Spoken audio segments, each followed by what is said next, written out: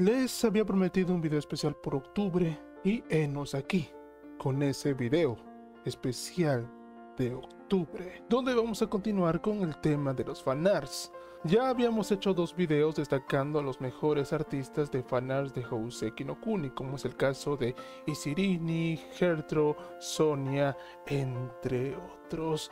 Y de por sí, estos artistas han embellecido a nuestras gemas y otros personajes de esta historia. Pero ahora el día de hoy vamos a ver el lado turbio y escabroso de los fanarts de Houseki no Kuni, que en vez de embellecer pone a nuestras gemas en una visión mucho más alterada y macabra, la que se meterá en tu retina y no saldrá de ahí. Así que para el especial de Halloween de Azrael Corps tendremos el top 7, los fanarts más terroríficos de Houseki no Kuni. Este video te dará mucho en qué pensar, sobre todo esta noche antes de ir a dormir. El puesto número 7 es un empate donde dos artistas muestran diferentes tipos de terror en Houseki. Y vamos a comenzar con el artista Liti A0101 el cual nos muestra lo que es el terror psicológico en Houseki no Kuni, con imágenes que pueden tener luz o también oscuridad, donde nos muestran nuestras gemas, sobre todo Fos Lazuli y Baby Fos, como psicópatas. De hecho, da mucho en qué pensar las imágenes donde Fos Lazuli es como controlada por Baby Fos.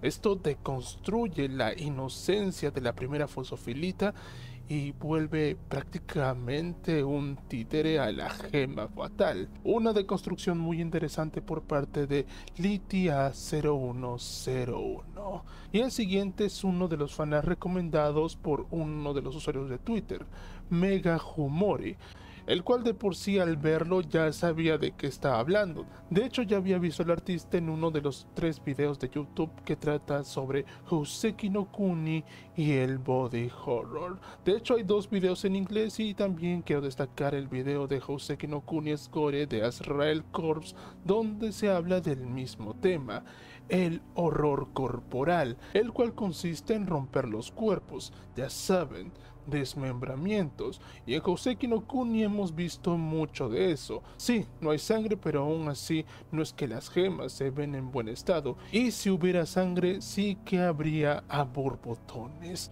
Y de los tres videos los recomiendo los tres, hasta incluso el de Azrael Corps, ya que pues es nuestro anterior especial de Halloween, el de Anime Twitter Spotlight Horror Rocks de Annie Kang nos presenta a un artista el cual al igual que otros artistas ha usado el horror corporal de Houseki no Kuni, Quan Shi Han entre sus obras de arte de Houseki no Kuni podemos ver manos cercenadas, el rostro de una joven fosofilita totalmente descubierto, la cabeza reventada de fosofilita y también un hueco en el cuerpo de fosofilita que le hace parecer una dona. Sí, no son humanos así que no van a sangrar, pero pues en eso consiste el body horror y Houseki no Kuni entra perfectamente en ese tipo de horror.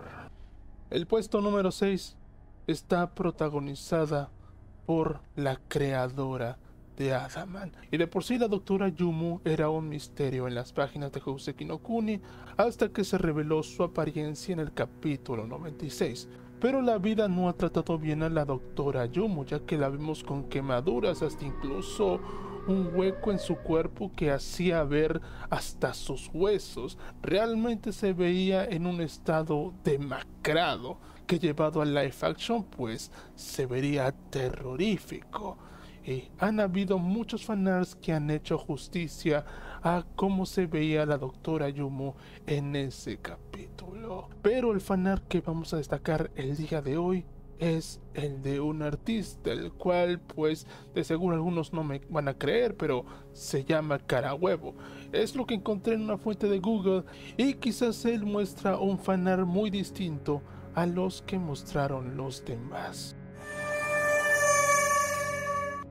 Es una figura realista de la doctora Yumo, pero no solamente se queda en el body horror, sino también en el llamado terror cósmico, ya que la doctora Yumo en ese capítulo 97 le había hablado a Fosofilita sobre el castigo del cosmos a la humanidad mediante meteoritos y la representación era la doctora Yumu pintada del espacio exterior y las estrellas. El lado oscuro del espacio exterior y una humana decepcionada de su raza nos dan este fanar que se apodera del puesto 6.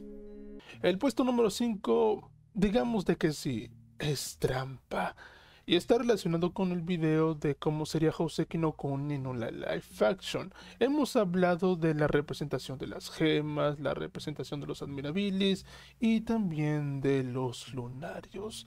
Hablábamos de que la representación de los lunarios tendría que ser una muy siniestra, después de todo inspiran terror a las gemas y son muy extraños con esa sonrisa macabra, así que necesitaríamos una adaptación fiel. Y pues digamos que para ese video no había encontrado, digamos, cosplays que hagan justicia a los lunarios, aunque tuvieron que pasar unos cuantos días para finalmente encontrarlos y pues esto es lo que me encontré.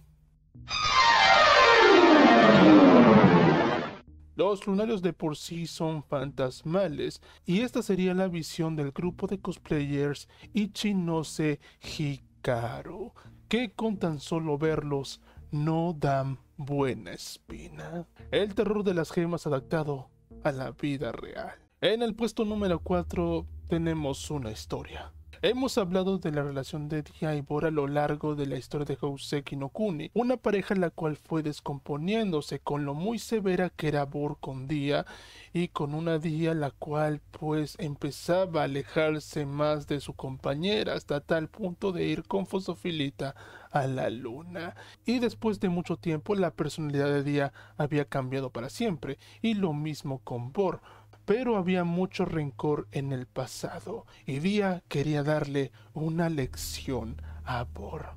Y en la invasión tuvimos esa batalla donde Bor era la presa y Dia era el depredador.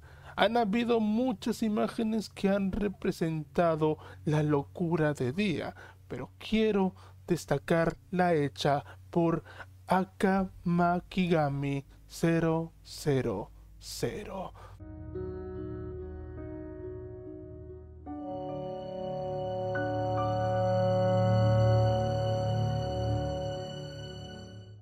donde vemos a una Dia Yandere cubierta de una sangre muy a aunque de por sí en José Kinokuni no hay sangre, pero es buen detalle. Pero volviendo con la psicópata de Dia, ahí la vemos celebrando con la cabeza destruida de una arrepentida por la locura de día se apodera del puesto número 4.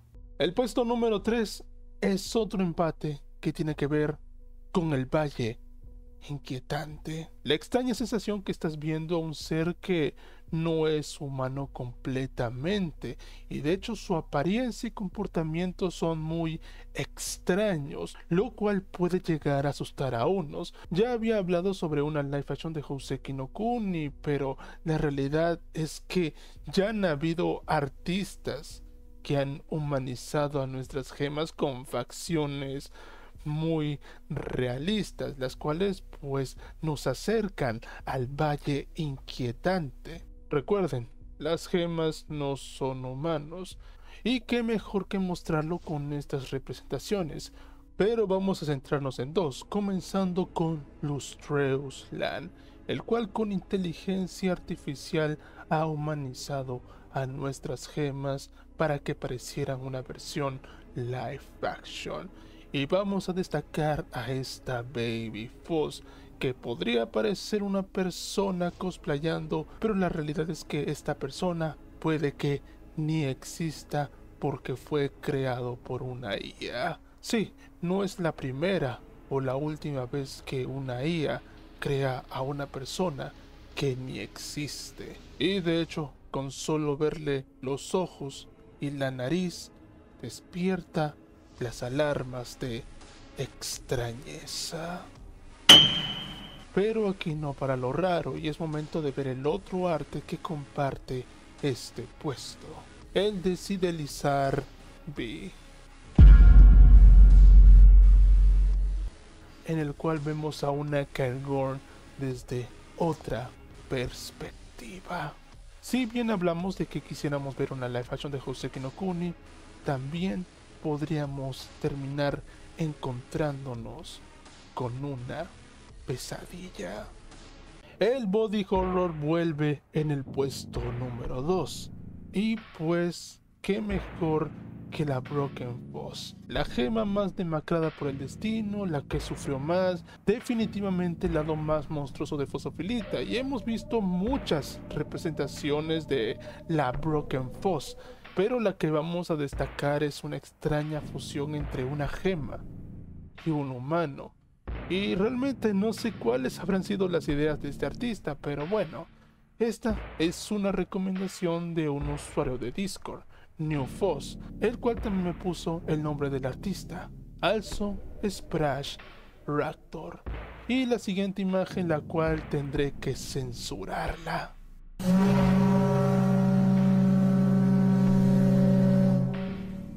Ante ustedes tenemos a una Broken Foss muy distinta a la del manga. Una que sí tiene las llamadas cicatrices de las batallas, pero también un cuchillo con el cual nos quiere decir de que se los hizo a sí mismo.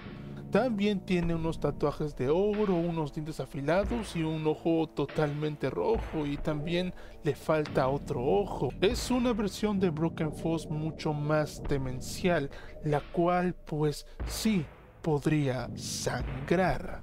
Y esta versión humanizada de la Broken Force es la que se apodera del puesto número 2. Así que he ahí la pregunta. ¿Quién se apoderó del puesto número 1? Pues lo veremos a continuación.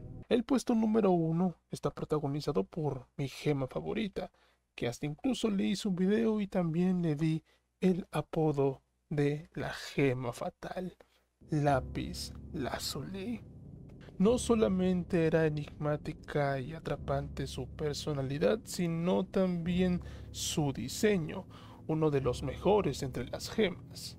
Y pues ese diseño se vio bien transferido en la Foz Lazuli, belleza, elegancia, misterio y fatalidad. Lápiz ha sido el favorito de muchos artistas, no por nada tiene muchos fanarts hermosos. Pero al igual que Lápiz tiene fanarts atractivos, también está el otro lado que, digamos...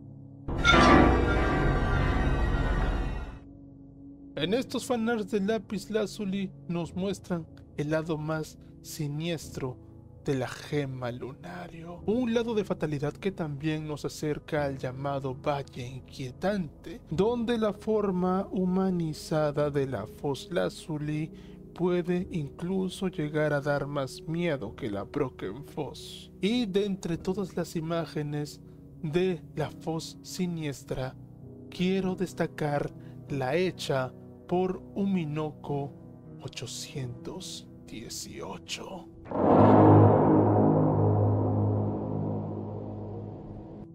En la imagen vemos a una azul cogiendo algunos cuantos tesoros, pero su mirada es totalmente vacía. Las sombras están totalmente marcadas y su boca digamos de que también tiene un azul muy vacío. Es una imagen que no recomendaría imprimir y ponerle en un marco en tu cuarto, ya que en cualquier momento esa imagen podría salir del cuadro y...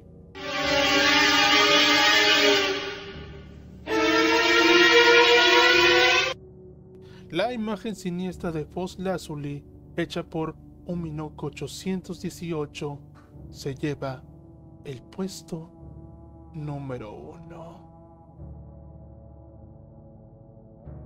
Yo por ahora me despido, suscríbanse al canal como también activen la campanita para recibir las notificaciones de los estrenos de nuestros videos.